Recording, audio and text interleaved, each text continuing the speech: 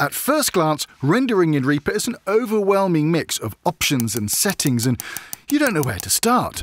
In this video, I'm going to walk you through the settings you need to know, something that took me weeks to figure out. But I'll also show you two tricks that will make your life that much easier when you're rendering in Reaper. Now, I'm going to presume that you've already got everything set up, you've recorded your audio, and you're ready to render. If you haven't done that yet, I suggest you start with this video here.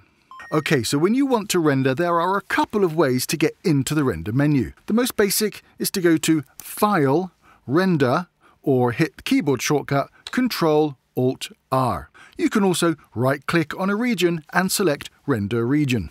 Whichever way you choose, it will open up your render menu. Let's just take a moment to have a quick look around. Source tells Reaper where the audio you want to render is coming from. Bounds tells Reaper where the audio you want rendered lives on the timeline. We'll come back to presets in a bit.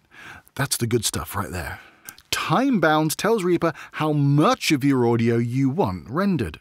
Okay, in the output section, the directory tells Reaper where you want to save your render. File name tells Reaper what you want to call it. And render to gives you the path to your file on your computer. I know that looks like a lot, and we will break it down in a moment. But before we do, let's just look at the options section. Now, some of these will be specific to client requirements, but we're going to set them to some useful defaults for now. Sample rate should be set to 48,000 Hz because that's the standard for video, which most VoiceOver is used for.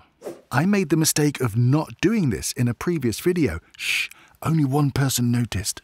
Channels should be set to mono, as that's the standard for voiceover.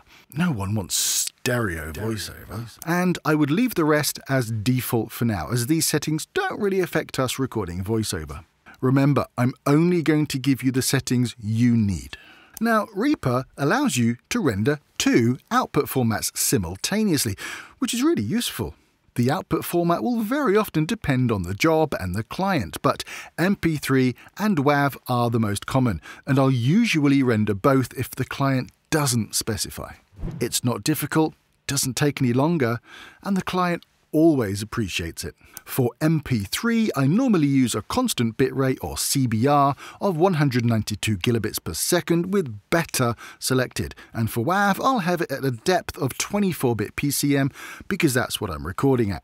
And I leave everything else unchecked and I do not include markers or regions. No need to. At the bottom here, I have this checked so that I don't accidentally overwrite any files, and I also have auto close checked in my day-to-day workflow, but I'll leave it unchecked for now so that you can see what happens when it renders.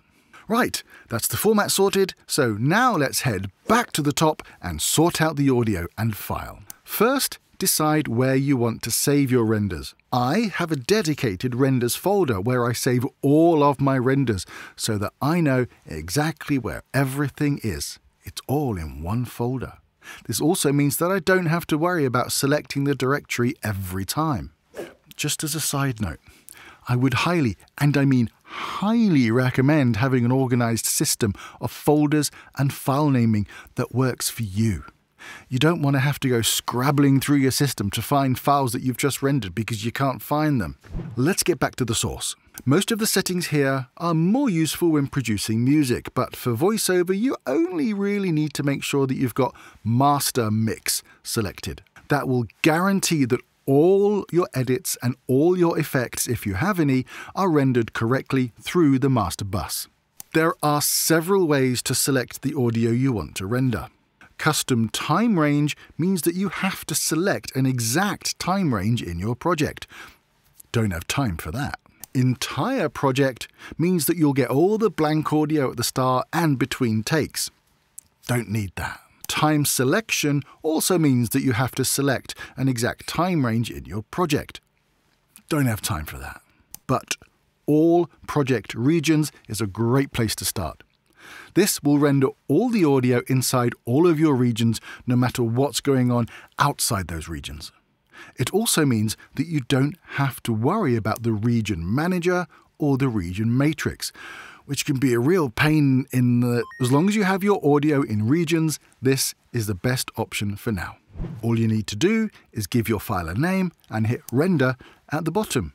And because we have increment file names turned on at the bottom here, those files will each be named with numbered versions of your file name. Nice. By the way, I know this is all a lot to remember, so I've created a free downloadable PDF cheat sheet of everything in this video for you. I'll put the link in the description. So, now you know how to render and name your files. But there is a better way. Top tip number one. You know I told you to name your project and regions and have your project default set up properly? Well, this is why. Wildcards.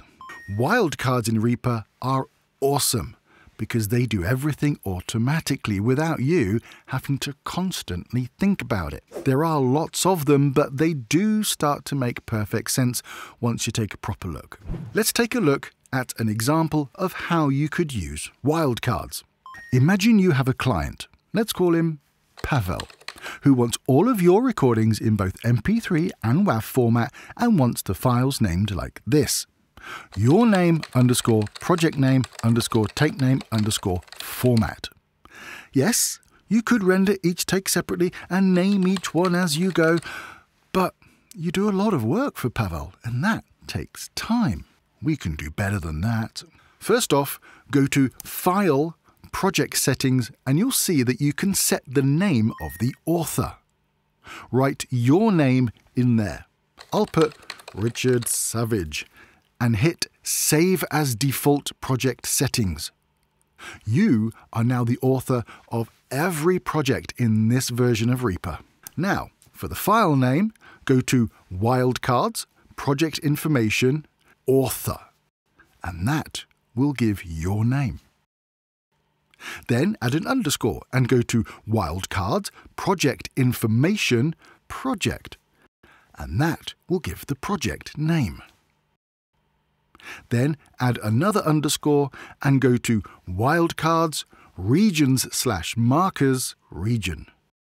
And that will give the take or region name. The last thing to add is the format. So go to Wildcards, Output Format, Format, and that will give the file format. You can see how the file name will look in the Render To box here. Hit Render and you can see that you've got MP3s rendered.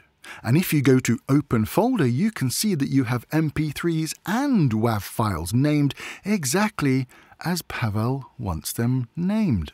And now you sprinkle a little magic by going to Presets, all settings, save preset. Give the preset a name. Let's call it Pavel. Hit OK.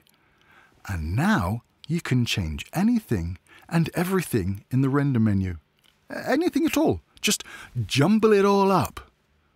But when you want to render something for Pavel, just go to Presets, All Settings, and select Pavel.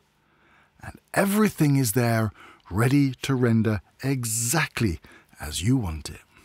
As long as your project is named correctly and your regions are named correctly, Pavel will always get the formats he wants with the file naming system he wants every single time. Nice. And you can save as many presets as you want. Personally, as well as a whole bunch of presets for clients, I have three presets that I use all the time with the file name author project region. One for MP3, one for WAV, and one for rendering both MP3 and WAV. But there's still one final step to seal the deal. Top tip number two. Set up your render menu to the most common settings you use. For me, that's the file name author project region for rendering MP3. And hit Save Settings. Now, make sure that the project is blank, so delete any audio you've got and turn off any effects you might have on. Now, go to File, Project Templates, and Save Project as Template, and save it as your everyday template. And you're done. Now, you won't ever have to think about what to name your files when you render your audio. Reaper will do it all for you. And Pavel will always get the right files. Don't forget to download that free PDF cheat sheet. I'll put the link in the description. And if you've enjoyed this video, I'd really appreciate it if you'd hit the like button. And please consider subscribing for more tips and tricks on recording for voiceover in Reaper and other voiceover shenanigans. Oh, and YouTube thinks you might like this video. Bye.